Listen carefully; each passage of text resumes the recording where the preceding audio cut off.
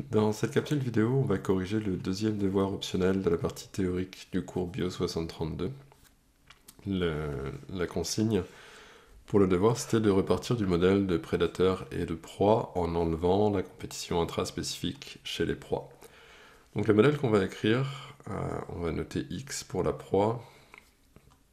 Mais il commence comme le modèle qu'on a écrit pendant le cours. Donc la dérivée de X en fonction du temps, c'est égal à R de X, donc une croissance exponentielle, moins l'effet de la prédation. Puis comme dans le cours, on va prendre une réponse fonctionnelle qui est une réponse fonctionnelle de type 1. Donc moins gamma fois x, y, où y est la densité de, euh, du prédateur. La dérivée de la taille de population du prédateur, ça va être bêta fois xy moins un taux de mortalité, euh, qui est le taux de mortalité du prédateur. Donc ce modèle-là, c'est le modèle de type euh, Lotka-Volterra, comme vous l'avez probablement déjà vu euh, plusieurs fois. C'est un modèle assez classique de, prédation. Donc à partir de ce modèle-là, la question était de réaliser une analyse visuelle, donc de dessiner les isoclines de, ce modèle. ce qu'on va faire, c'est qu'on va définir encore une fois notre espace dans lequel on travaille, qui va avoir une première dimension qui est x et une deuxième dimension qui est y. Donc pour, euh, euh, rappel, la définition des isoclines, c'est euh, n'importe quelle ligne pour laquelle la, dérivée est égale à 0.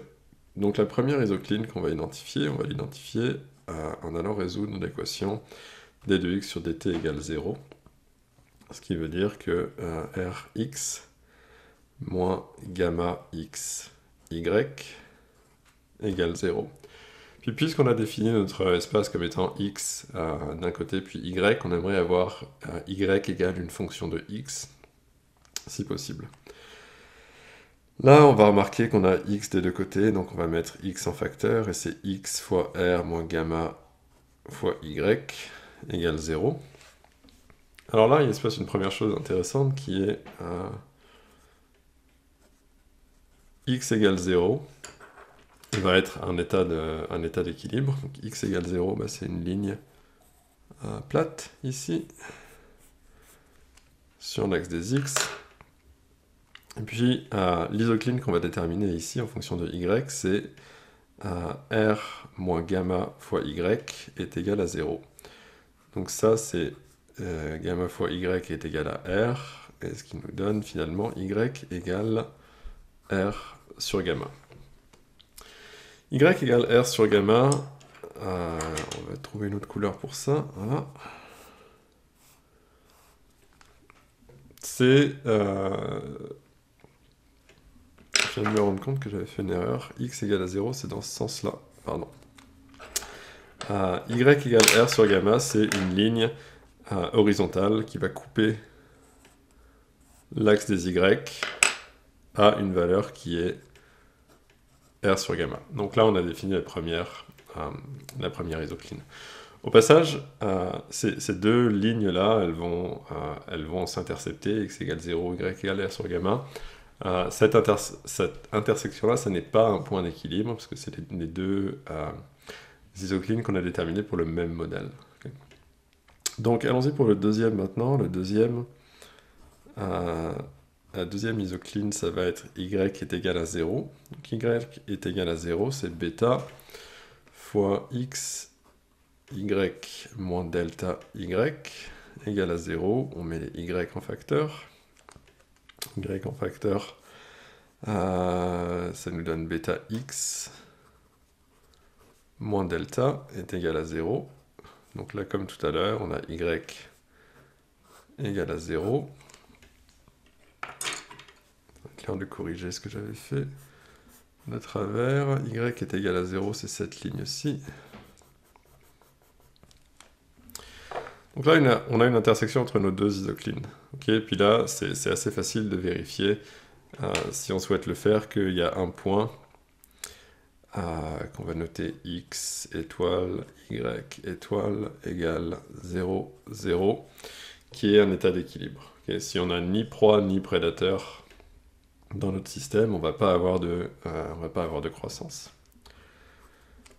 La deuxième partie de la solution, c'est bêta x moins delta qui est égal à 0. Ça, ça nous donne delta, pardon, on va faire dans l'autre sens, bêta x égale delta, et donc x égale delta sur bêta. On va trouver une autre couleur ici. Delta sur bêta. Euh, et ça, c'est l'équation d'une droite qui coupe l'axe des x à la valeur delta sur bêta. Donc ces deux isoclines, elles vont euh, s'intercepter ici. Comment on va les appeler? On va les appeler A. Ça c'est A. Et puis ça, on va l'appeler B.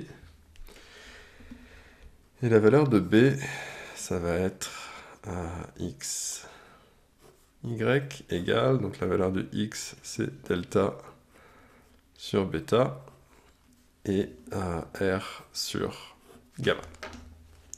Donc la question qu'on euh, se posait dans ce, devoir supplémentaire, c'était visuellement combien d'états d'équilibre on arrive à identifier. Donc on arrive à identifier deux états d'équilibre, 0, 0, delta sur bêta, r sur gamma. Et euh, est-ce que c'est différent du modèle avec de la densité dépendance? Euh, Oui. Dans le modèle avec de la densité dépendance, rappelez-vous que euh, l'isocline pour la proie, donc celle qui est en bleu ici, puisqu'il y avait de la densité dépendance, au lieu d'être plate, elle allait diminuer. quand, quand, x allait augmenter, puis elle allait couper l'axe des x. Et donc on avait un troisième équilibre qui était le prédateur est absent, mais la proie est présente. Donc là, la, différence avec le modèle sans densité dépendance, c'est qu'on n'a plus d'équilibre pour lequel la proie est, euh, à un état d'équilibre et le prédateur est, euh, absent.